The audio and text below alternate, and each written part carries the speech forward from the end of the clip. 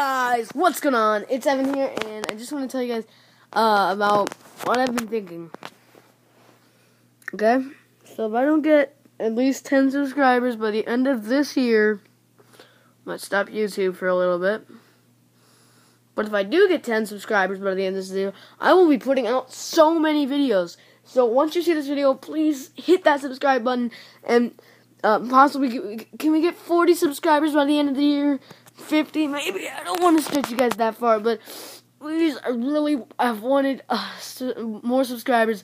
I only have I've had seven for like the last uh like two months. Well, like maybe like a couple weeks, like three weeks, and I'm like. Mm, I know you guys can do this. I know you guys can crush that like button and that subscribe button and leave a comment thinking, um, you know, leaving me your thoughts. So yeah, guys, please, please crush that like button, crush that subscribe button.